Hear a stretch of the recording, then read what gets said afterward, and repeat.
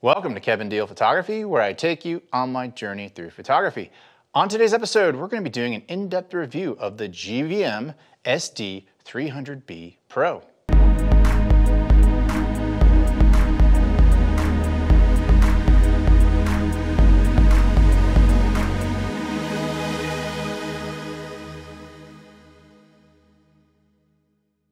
Welcome to today's episode. If you're not familiar with Kevin Deal Photography, we do gear reviews, tips, techniques, and tutorials, and sometimes we dive into film.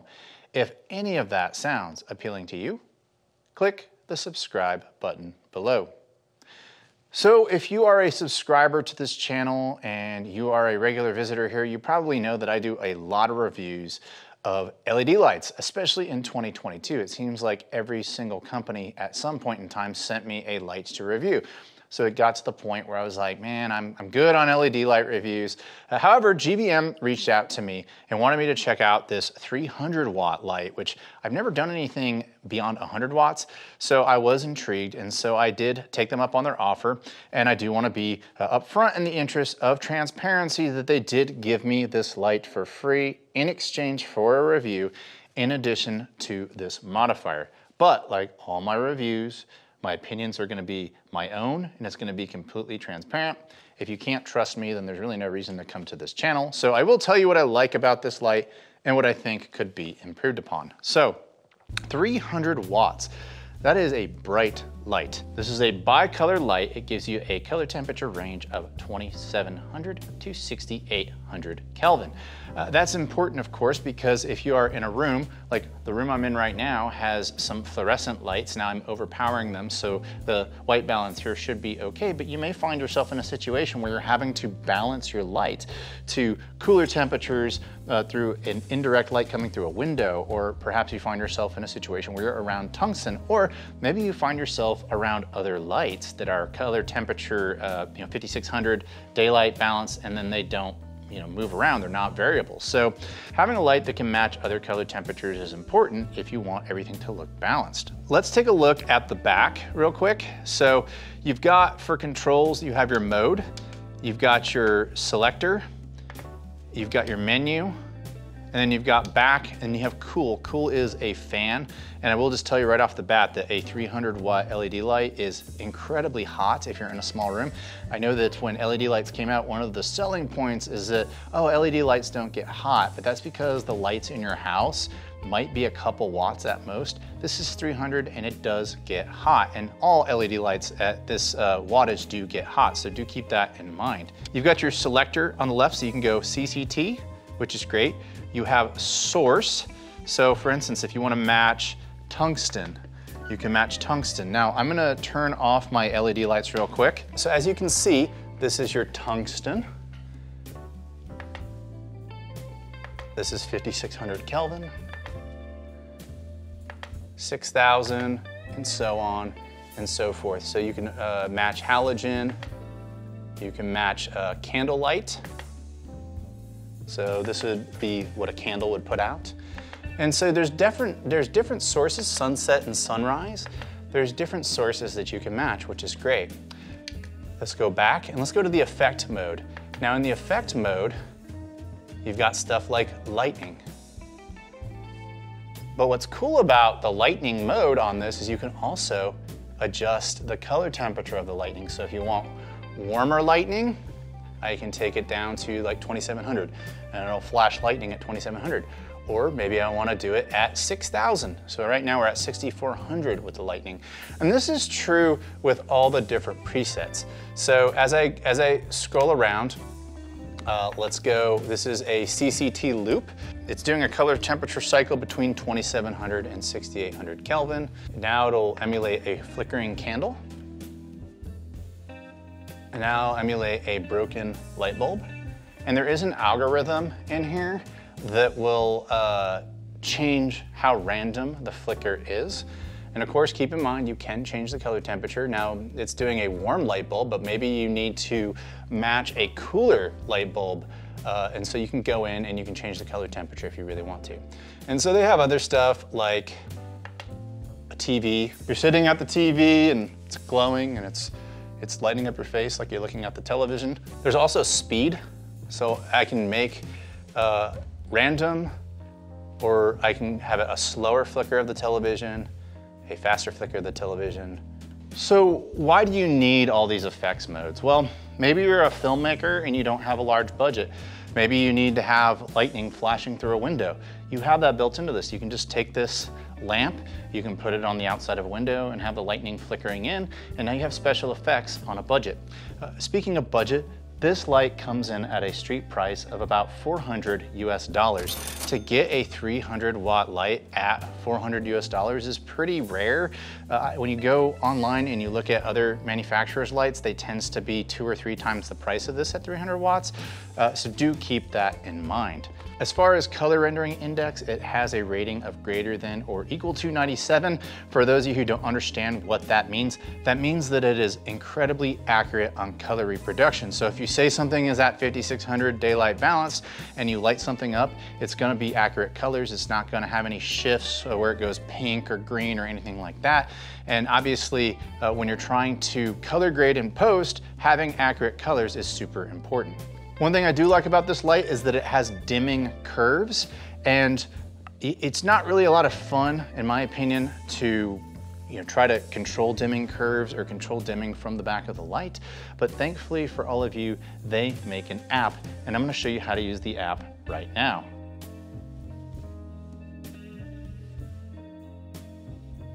So to use the app, it opens up, it looks like any other app. Now your light has to be on, and as you can see right here, you just click on the light and you have three different areas, CCT, effects, and source matching. It's pretty straightforward. So you go over to CCT, uh, I'm gonna turn this down a little bit so I'm not so blown out. So as you go to CCT, we can go warmer, we can go cooler. It's pretty straightforward. They have presets for daylight, uh, they have presets for tungsten, all the different presets you want. They also have the dimming curves. So as it dims, see here it's like a really fast slope versus an S curve versus a gradual curve. It's pretty straightforward. Then uh, you can also turn the light on and off in the upper right corner here, which is easy. Uh, you can also save it as a preset over on the left. So you can go over there and you can name it, uh, you know, 4100 or whatever you want to name it. But I'm not going to do that.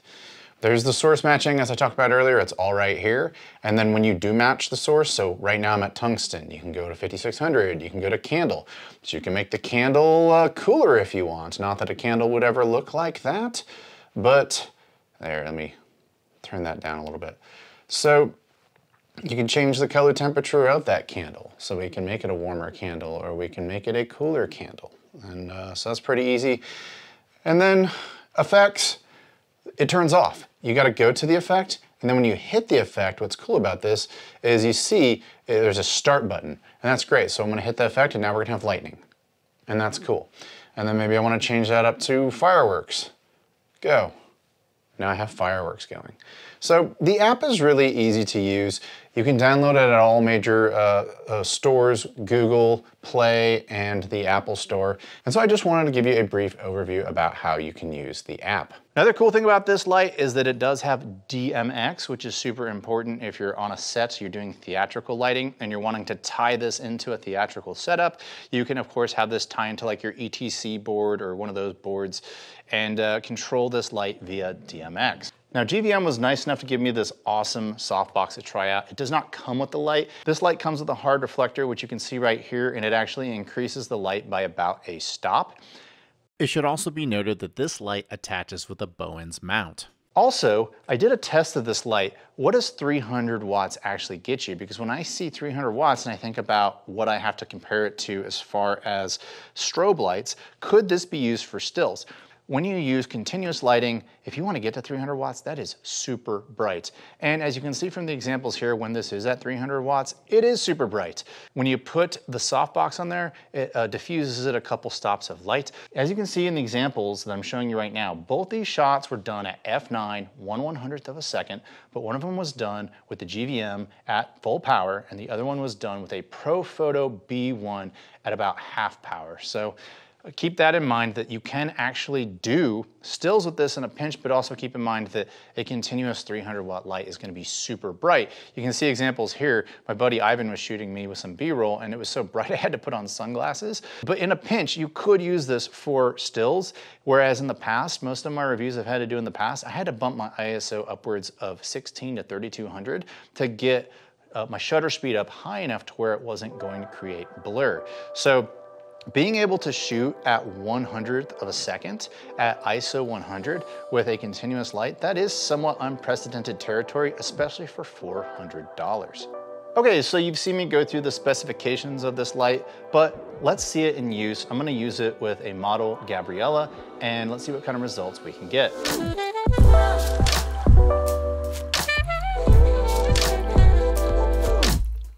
One of the shortcomings to shooting continuous light is you often can't shoot at low ISOs. I usually have to shoot at like ISO 1600 or higher when I'm trying to keep my shutter speed up in the studio.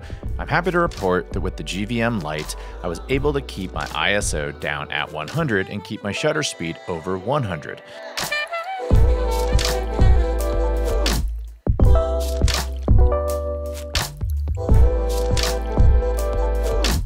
As you can see, the color temperature was cool coming through the window, but thankfully for me, this is a bicolor light, so I turned the color temperature cooler on the light, and as you can see the before and afters, I feel like the light improved these images. All right, so you saw the results that I got with the light. Uh, I thought I did a pretty good job having the ability to change the color temperature. You saw some shots that we did in my lobby area where I had cooler temperatures coming in through the, the windows.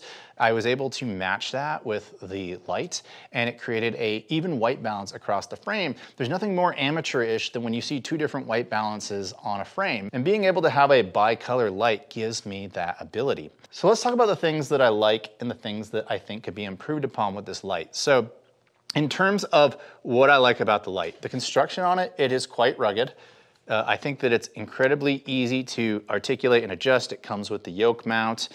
Another great thing about this light is that you actually have a locking power connector, which is great. So if somebody trips, maybe they're the only thing that hits the ground and not the light. Uh, I find that the menu is really easy to navigate, which is good because I hate menus. I find that the app is even easier to navigate, and so that's something to keep in mind. Uh, one thing that I really loved about the app is that when you go to some of the presets on here, there's actually a play button. A lot of LED lights that when I go to a preset, it immediately starts running that preset. The fact that I'm able to hit the play button to let it know that, okay, I want the preset to start now. That's kind of something that I've never seen in an app before. And I think that's something that GVM did that was quite thoughtful. Uh, but the, the construction on it is great. The quality on it was great. The color uh, reproduction was great.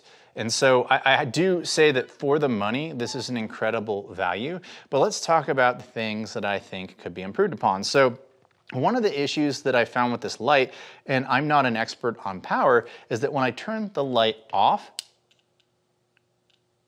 there's this weird clicking sound that's going on inside the power supply. As soon as I turn on the light, it turns off. I don't hear the sound anymore. I'm not an expert. Maybe it's just some sort of a capacitor doing its job, but I personally don't have power supplies that make noise when my unit is off. Um, the only other thing that I wish could be improved upon, which of course would increase the cost, is that this is not IP rated.